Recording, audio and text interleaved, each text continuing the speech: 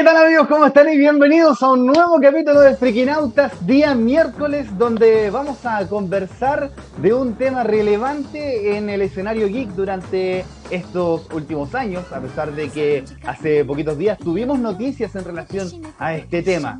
Hablo de diversidad y también de inclusión en los juegos, en, los, en la animación japonesa, en eh, dibujos animados. Es un tema que viene desde hace años, viene como medio camuflado, desde hace poco se empezó a destapar un poco más y ha generado una ola de opiniones y de eh, diversos puntos de vista y debate, mucho, mucho debate. Por eso el día de hoy me acompaña Fabián Rojas, quien es ya coanimador de este espacio al cual denominamos Malditos Frikis, donde hablamos en extenso de todo lo que nos interesa. ¿Cómo estás, Fabián? Bien, ¿y tú, Renato, cómo estás? Yo estoy muy bien y eh, alegre también de poder tener a nuestra invitada del día de hoy. Ella es escritora reconocida en las redes sociales y también en el mundo del fanfic. También podríamos hablar de eso. Puede ser. Ella es Río, que nos acompaña durante esta tarde. ¿Cómo estás? Aplauso, por favor. Hola, Muchas gracias Renato por la invitación. Feliz de, de poder compartir un ratito con usted este tema súper importante, interesante y que merece un espacio en estos días. Sí, totalmente, no deja de ser interesante porque está presente más de lo que uno cree. Y yo creo que eh, ahí hay un, hay un tema para poner sobre la mesa y hablarlo definitivamente. Son temas que uno puede eh, incluso tratar eh, a nivel de familia y poder desarrollar estos temas sin complejos y sin ningún tapujo de por medio. Por eso encontramos que eh, tu participación en el programa el día de hoy es bastante pertinente para que nos puedas contar un poco más sobre cómo es que se relaciona la escena, eh, la escena geek particularmente, dentro de la inclusión y también de la diversidad. Eh, todo esto comenzó con la idea de poder hablar sobre Chira, ¿cierto? Esta serie de animación de Netflix, que era un reboot de la serie antigua, eh, que nos presentaba una nueva propuesta de animación, pero también eh, tocaba mucho el tema de la diversidad, no de forma forzada, eh, sino que lo hacía de forma bastante natural, básicamente porque eran personajes de distintas razas y de distintos colores, de distintas formas. hace poco terminó, ¿cierto?, la serie y fue como un boom. Ahí se creó un fandom, una comunidad bastante, bastante unida, ¿cierto? Y que ha desarrollado mucho contenido creativo asociado a esta serie. Sí, de todas formas, de hecho, eh, me encanta eh, que comencemos hablando de Shira, porque es una serie que ha mostrado de verdad un universo completamente nuevo y diferente en base eh, a un montón de cosas. De hecho, sabemos que es el reboot de la serie que nosotros veíamos en los años 80, que era, bueno, la hermana de He-Man. pero la serie de los 80, si lo comparamos con este reboot, es completamente distinto. O sea, tenemos que ver que a nivel de, de guion cambia bastante la historia a nivel del rediseño de los personajes, es un diseño completamente novedoso eh, en cuanto a la paleta de colores, en cual encontramos colores mucho más luminosos. Eh, y si piensas en el rediseño de los personajes como tal, te encuentras con una variedad de, cuerpos, de formas, de colores, de razas, como tú decías, súper distintas, que igual eh, tiene que harto, harta diferencia con la, con la serie de, los años 80. De hecho, si se analizan los personajes de los años 80 a nivel estético, todos los personajes eran como súper parecidos. O sea, las mujeres eran todas regia estupenda, eran todas cuerpos de Barbie. Y acá en el reboot de, de, Noel Stevenson eh, vemos que hay cuerpos distintos. Hay personajes que son como más, más gorditos, hay personajes mucho más, más atléticos y, y cosa que no, no, no se veía antes. De hecho, todos los cuerpos eran súper de hecho, los cuerpos de los hombres, ¿no? Eh, de, de, de, sí, eran todos eran todos como musculosos. sí. Bueno, eso, claro, hipermusculosos. Pues, He-Man era una máquina. De hecho, estuvimos conversando, me acuerdo una vez que hablamos, aprovechando eso, del, tema de los estereotipos como forzados de cuerpos atléticos extremadamente hipertrofiados. Eh, pero yo creo que tenía que ver también con, con la cultura que había, con, eh, con, lo, con la figura del, para el niño que tenía que ser hombre, por así decirlo, y tenía que ser musculoso. Y prácticamente teníamos una generación de, de animaciones o de monitos animados, como les decíamos, que tenían su línea de juguetes, o al revés, línea de juguetes de hombres musculosos, eh, que tenían su serie de animación. Entonces se generaba esta, esta cosa de que de que nos, nos, proponían un estereotipo de cómo tenía que ser el héroe. De hecho, es cosa de ver los cómics, incluso superhéroes, que ahora está cambiando un poco, donde casi todos son con cuerpos casi de Arnold Schwarzenegger, como en Mr. Olympia. Pero eh, es importante igual eso que está, está cambiando ahora, o sea, está mutando, se está adaptando a la realidad, no a esa utopía quizás plástica de, de los cuerpos eh, de Terminator. Sí, es súper importante y vital lo que tú mencionas porque de hecho exactamente, bueno, el origen de He-Man eh, viene por el tema de la, de la industria de, los juegos, de los juguetes, ¿no? Entonces ellos querían crear la imagen de, un hombre idealizado para que los niños tuvieran una figura ahí como eh, idealizada, valga la redundancia, y de verse a futuro, ¿no? Como hombre súper fuerte.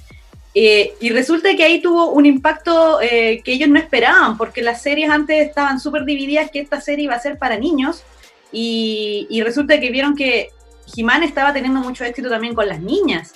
Y las niñas no tenían una figura para verse representada. Entonces ahí fue cuando ah, nace Shira. Y claro, y nace ahí Shira como, como la hermana melliza, si no me equivoco, de Jimán. Y, tiene todo este mundo aparte, ¿no? Y, Pero ella también sigue teniendo una, una, especie de idealización de su cuerpo, de los poderes y claro. todo. Y de hecho, en una entrevista a Noel Stevenson, que es la, creadora de la Shira de ahora, dice, claro, o sea, igual si ven los, las figuras, los cuerpos de esos eh, monitos, en ese tiempo eran creados así porque también tenían solamente dos moldes para los juguetes. O sea, solamente un cuerpo A y un cuerpo B, no había más. Eso es lo que ella, es lo que ella decía. Por eso Skeletor también era musculoso, pues, no tenía sentido si Exactamente, o sea, la industria. Claro, era un esqueleto, sí. Pero era cajonudo, así era como, no cae por la puerta. Ahora, yo me acuerdo que hubo un documental, no me acuerdo muy bien el nombre, después yo creo que podemos, o invito a la gente a buscar eh, un documental por la temática, que hablaba del efecto que tenían estas figuras de acción. Eh, pasando por He-Man, ¿cierto? Que incluso los Thundercats que eran hipertrofiados eran todos, hasta los motos, las tortugas ninja también eran hipertrofiadas. Pero claro, o sea, se asociaba el hecho de que estos personajes eh, podían provocar en algunos eh, hombres, a medida que iban creciendo y sobre todo en la adolescencia, el tema de la vigorexia, que es como esta adicción a generar, eh, adicción no al ejercicio, sino como adicción a tener cuerpo, no sé, de, de Hulk pero también tiene relación con eh, cómo eso conlleva otro tipo de peligro que es eh, no solamente la bulimia o la anorexia en el caso fuerte de, las mujeres, sino al hecho de caer en otro tipo de, situaciones que serían la droga ilícita, ¿cierto? Lo que son la, el tema de claro, que lo dicen los... Las inyecciones. Claro, que están esteroides, como dicen, o asteroides, como dicen por ahí también. pero se pasa eso. Entonces, ahora recién, y es bueno que pase esto, que hay una mutación eh, positiva eh, y que se, haya, se adapte, así como lo hizo quizá en algún momento X-Men, que también venía como a mostrar un poco la diversidad y a, celebrar y a, decir que en realidad ser distinto, ser de, una minoría o tener otro tipo de, visiones que no van de acuerdo quizás con el paradigma contemporáneo o el que se ha mantenido tradicionalmente, es positivo entonces, tener esa visión eh, de romper el paradigma y de poder adaptarse, no de manera eh, porque sí, sino no por dejar contento a todo el mundo, sino por una cosa natural del flujo, yo creo, de la, de la sociedad. Y esta, este tipo, claro, de, de, ideas de Barbie, como mencionaba, y el mm. tema también de he de esta idea como de, de, de, no sé, de Arnold Schwarzenegger, que no es como el, es como el, el culpable, el, el culpable. Claro. Pero limpia eh, ahora se están viendo las consecuencias. Y son estas enfermedades, estos trastornos alimenticios, estos trastornos eh, que tienen que ver también con la forma de consumo de, de, los adultos que ahora ya eh, están maduros, por así decirlo, y que tuvieron esa formación. Así que igual yo encuentro súper positivo este tipo de, de instancias creativas. Claro, eh, The Toy That Made Us puede ser el documental que habla de los juegos, ¿no? De los juguetes. Ese, documental es súper, súper bueno. Está disponible en Netflix y que habla de cómo estas series, la mayoría de ellas se crearon con el fin de, vender juguetes. Eh, pero claro, todos conocemos el dilema de la Barbie y del estereotipo de mujer que nos presenta. Eh, hay gente que se molesta con eso, ¿ah? con decir, pero ¿cómo hacía un juguete? Es más allá, representa también eh, cánones sociales eh, que nosotros aceptamos y que eh, también inducimos en los más pequeños a que, oye, esta es la línea que tienes que seguir, lo cual es algo eh, probablemente no con intención. No creo que una mamá o un papá le regale un juguete a su hijo pensando en que eh, quiero que seas como ella, sino que es algo que, viene de, la observación, básicamente. pero yéndonos al tema nuevamente de, de los dibujos animados, dime. No, es que te iba solamente en paréntesis que hablar de Barbie da para un capítulo entero, ¿ah? Porque tiene bastantes significaciones ahí escondidas. Es digna sí, totalmente. Totalmente, un, caso de estudio, como diría Fabián. pero, claro, pero volviendo al tema de, los dibujos animados, yo creo que eh, esto con el tiempo se ha ido em, se ha ido viendo mucho más el tema de la diversidad, de la inclusión. Eh, puede que en algún momento haya sonado forzado. Eh, yo creo que en algunas instancias puede ser. Yo no lo he visto básicamente porque no me he dado cuenta. Yo creo que el primer caso de, inclusión que pude ver, bueno, entre, comillas, eh, fue en Sakura Card Captor. ¿Todos vieron Sakura Card Captor? No sé. eh, Sakura Card Captor con, eh, con, con Yukito y el hermano de, de Ay, y Tomoyo también le tiraba ahí la onda a Sakura. Sí, entonces, claro, entonces eh, cuando yo la vi, nunca lo noté, porque nunca fue tema para mí. Pero después mis compañeros me decían, oye, pero si en realidad eh, hay, miradas, hay como un interés romántico entre estos dos personajes, y yo encontraba que daba lo mismo, o sea, realmente era como parte de la misma historia. Entonces, eh, yo creo que también eh, muchas veces se critica por criticar el hecho de que las nuevas productoras o las nuevas series de televisión están incluyendo este tipo de elementos eh, suenan forzados, pero en realidad es porque la sociedad ha evolucionado y nos está presentando eh, que para las nuevas generaciones no hay límites, o sea, son cosas muy naturales. A lo mejor las personas más conservadoras o personas más mayores les puede parecer algo extraño, pero a los más pequeños eh, ya nacen con esto y son cosas que no se cuestionan. Entonces, se hable este tema o no, la cosa, el tema va a pasar igual, digamos. Sí, de hecho, como, como tú dices, eh, esto yo creo que en 10 años más o no sé en cuánto tiempo más, o sea, ni siquiera vamos a estar hablando de esto, va a ser un, algo súper natural que yo creo que la gente, claro, todavía se, como que se espanta de, de, ver a ver la mejor diversidad sexual en, lo, en la serie, dicen, ay, no, pero ¿por qué los niños tienen que ver esto? Yo creo que todos crecimos viendo en algún momento eh, personajes de distintas series que ya estaban ahí, que ya tenían diversidad sexual, y, todo, y no nos dábamos cuenta, como tú dices el ejemplo de, Sakura Card Captor, ya lo vimos más atrás, un poquito más atrás con Sailor Moon. Y, eran cosas que no, no, a lo mejor no lo asumíamos en ese entonces porque también nuestras mentalidades estaban, no estaban todavía maduras, por así decirlo. Claro. Bueno, en, Sailor Moon a Sailor Neptune y Uranus nos la presentaron como primas, pero en realidad eran pareja en la, en la, serie original. Entonces, claro, ah, ahí también hubo un tema de censura, digamos derechamente por el tema del doblaje. Hubo un tema de, censura. Eh, hay otra serie que incluso llegó a, Latinoamérica, que es el póster de hecho que tengo acá atrás, que es de Utena, y que llegó a Latinoamérica y de hecho la iban a doblar para, para que fuera a, toda Latinoamérica, eh, la iban a doblar en México. Y cuando se dieron cuenta de la temática que era Yuri, la rechazaron. De hecho, por eso no vimos Utena en la televisión abierta por ese motivo. Fue censurada mm. apenas llegó. De Utena y Anti. ¿Ah? Utena y Anti, ¿o no? Utena y Anti, sí. Sí. Claro, eh, the, Revolutionary Gear. La chica eh, revolucionaria, exacto. O sea, así se llama. El nombre lo dice de más encima. Sí. Sí, buen anime. Hubo, Pero, pasó, me acuerdo, con Ranma igual. También Ranma llegó. Uh, Ranma también, pues. Es que pasaba por el filtro como mexicano y los mexicanos igual tienen esta visión quizás más no los mexicanos como, como ciudadanos mexicanos, sino como esto, la industria quizás, sobre todo en los 90, del tema del doblaje, igual tenía este filtro como medio rosa de Guadalupe, eh, que generaban esta... Eh, más conservador.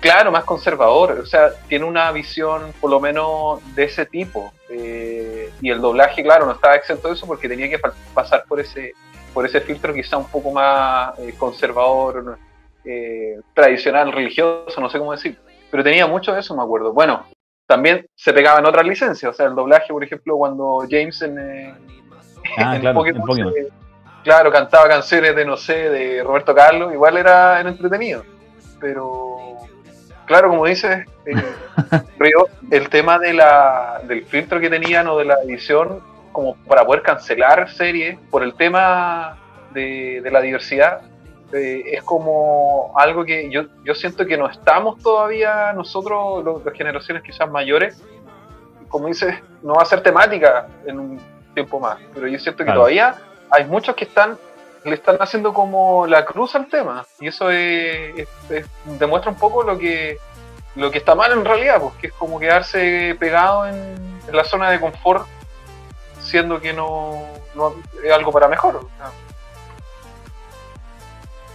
Eh, tocando el tema de nuevo de los dibujos animados, bueno, eh, hay toda una un, como un mercado ya ahora que se ha abierto. Eh, el mismo Cartoon Network ha transmitido, por ejemplo, el mismo final de Hora de Aventura.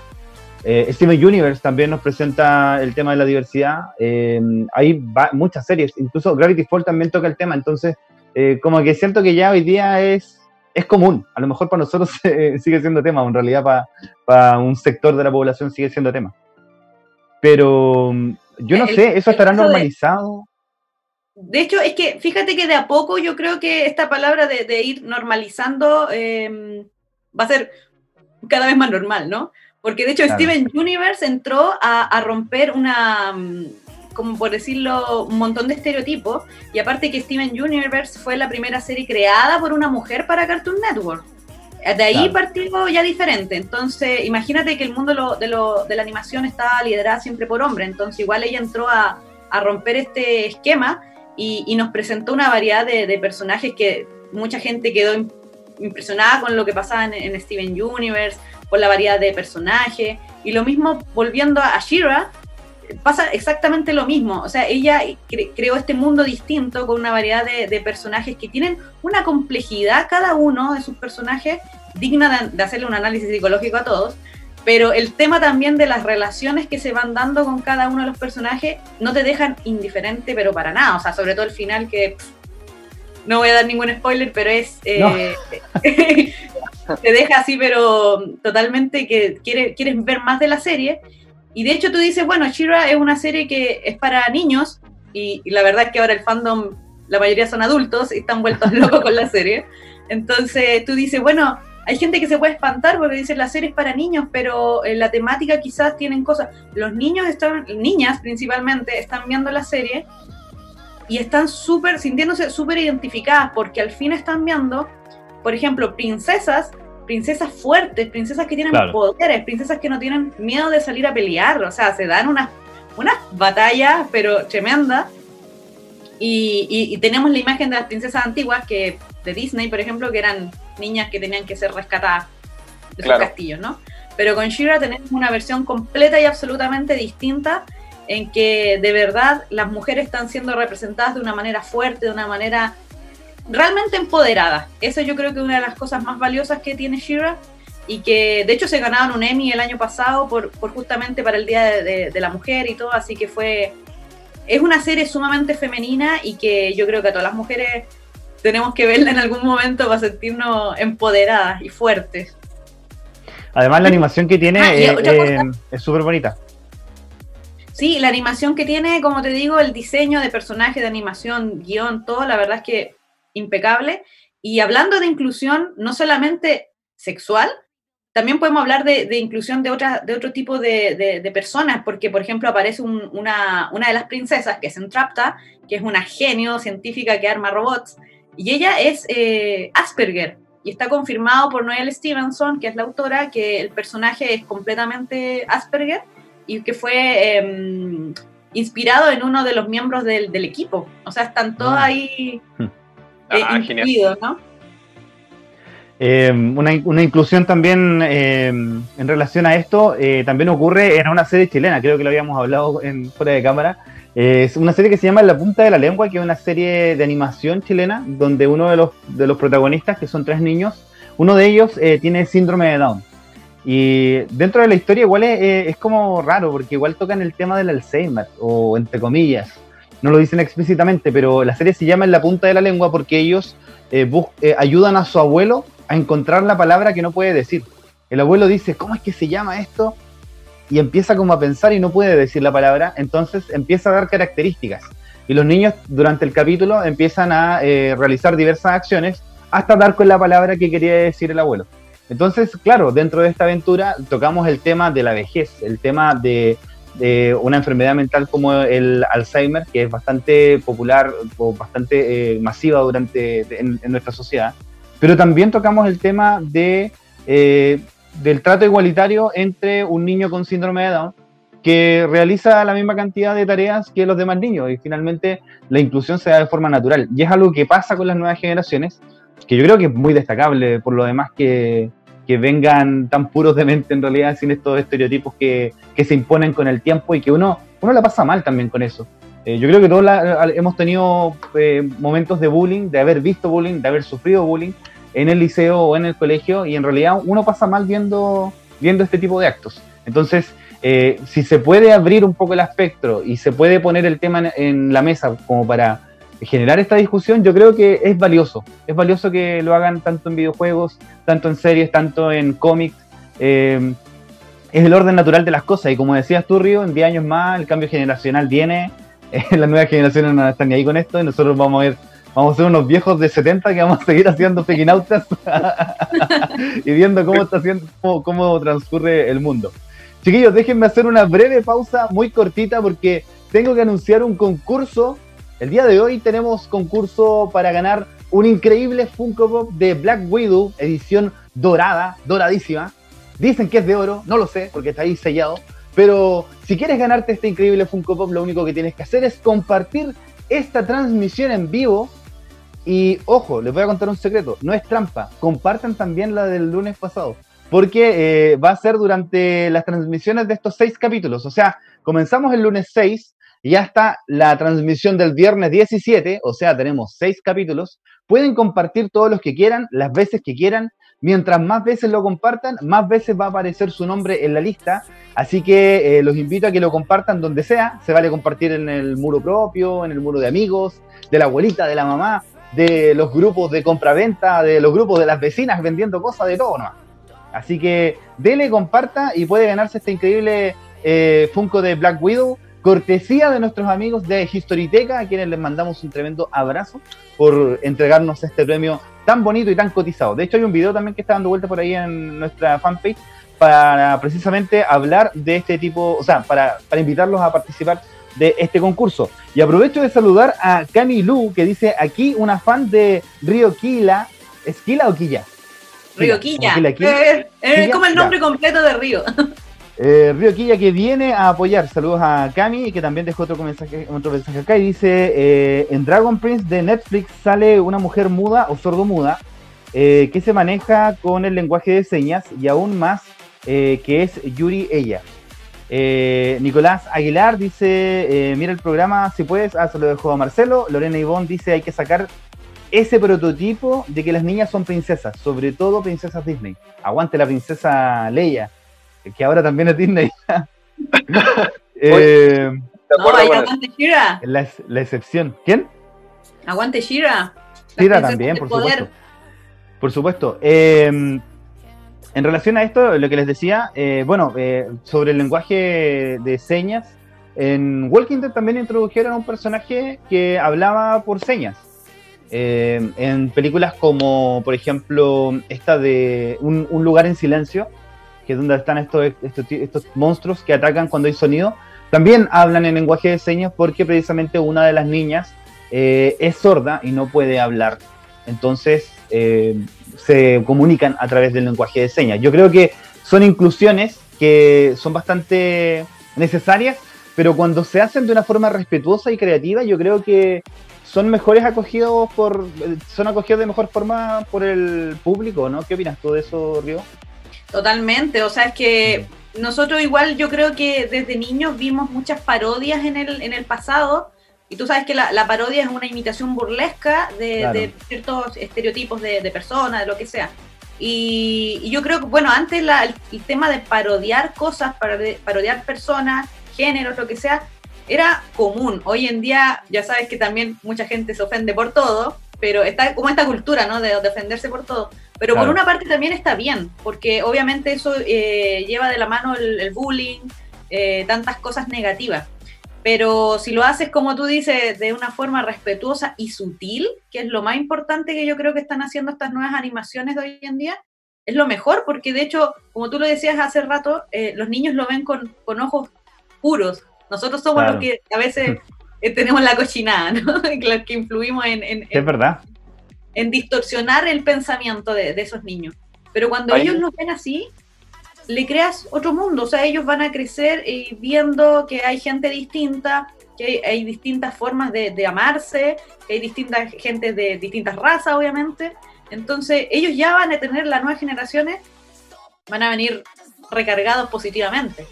Claro, que, el amor es válido en todas sus formas. Ahí Disney, sí, yo creo que, no sé, podríamos hacer una campaña, eh, reunir firmas para que Disney nos devuelva toda la plata que invertimos en el videoclub arrendando sus películas en VHS y con esa plata pagarnos la terapia y poder eh, solucionar esos problemas que nos generó durante todos los años 90, eh, hasta incluso en los DVD. Y hay una película, bueno, quizá esto no es obviamente tan claro como este caso, pero a mí me llamó la atención John Wick ¿Por qué? Porque John Wick, si bien es una película donde está la idea del, tipo eh, hombre, por así decirlo, que es como el, personaje, el, héroe, no sé si decirlo, o el antihéroe protagonista de esta saga, pero a mí me llamó la atención también el hecho de que jugasen con alguien que no tenía que ser eh, primero musculoso, alguien que sentía dolor, alguien que, un personaje que sufre en el, trayecto de, su, de su viaje, por así decirlo eh, y lo entretenido es que la película propone que hay como una mafia, ¿cierto? Eh, en donde hasta un vagabundo puede ser parte de esa mafia. O incluso eh, hay personas, por ejemplo, que pueden ser desde, no sé, el chofer de bus, puede ser la, no sé, la, la persona que, o, una chica que toca el violín en una orquesta. Entonces te propone como una idea en donde existe este submundo y me llamó mucho la atención eso porque juega con, eh, con que las habilidades que tienen, porque hay una variedad, una diversidad muy, muy interesante de asesinos, por así decirlo.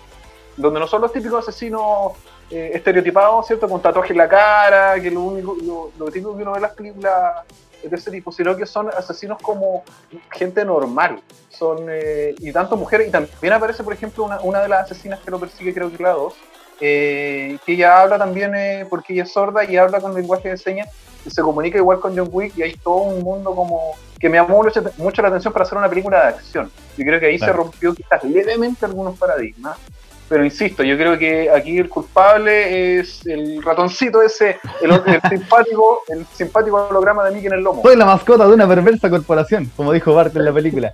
Chiquillos, ¿Qué les digo? Ya se nos acabó el tiempo, pasó pero volando, volandísimo. Sí, lamentablemente se nos acabó el tiempo, pero queremos dejar unos breves segundos para que Río se pueda despedir de su fanaticada que nos está acompañando el día de hoy a través de la señal de Ufro Medios. Sí, por ahí, bueno, saluda a la lobita que por ahí escribió, creo. Y nada, o sea, por favor, sigan viendo más series, acepten los personajes que están, porque la verdad vienen las nuevas, nuevas series, vienen con todo, así que acostúmbrense porque esto no va a parar. Muchas gracias Río por acompañarnos esta tarde, por tocar este tema bastante interesante y que necesitaba un espacio acá en Freaking Fabiancito, ¿quieres decir? Habrá que repetirlo. Sí, hay, que repetirlo. E-, eso quería agregar, hay que repetirlo, sí. Yo creo que da, para mucho. Siempre quedamos cortos. Sí. siempre pasa. Pero está bien, está bien, estás entretenido. Fabiancito, saludos que quiere enviar al primo que está de cumpleaños. Eh, sí, mi primo que estuvo de cumpleaños. Estuvo de cumpleaños ayer. Mi primo, primo Pero no, o sea, me sumo las palabras. Yo creo que hay que hacerlo ¿no? y seguir conversando el tema porque eh, hay mucho que, que, trabajar ahí, yo creo. Y nosotros también, mucho, mucho para desafiarnos a nosotros. Por supuesto, eh, falta poner estos temas más sobre la mesa, igual en la televisión. Nosotros, eh, se nos quedó, por ejemplo, hablar de videojuegos, particularmente el caso de The Last of Us y de cómo los villanos antiguos también tenían representaciones eh, malignas eh, antiguamente. Chiquillos, eh, muchísimas gracias por acompañarnos el día de hoy. Como siempre, a todos los fanáticos y a todos los seguidores de Freakinautas, les mandamos un tremendo saludo por su sintonía. Recuerde que puede vernos lunes, miércoles y viernes a las 6 de la tarde. Este viernes tenemos Freaky News con todas las noticias más destacadas de la semana. Así que eso por el día de hoy. Gracias Río, gracias Fabián, gracias a ustedes lávense las manos, usen mascarilla y eviten salir de la casa a menos que sea estrictamente necesario. Nos vemos. Cuídense. Adiós.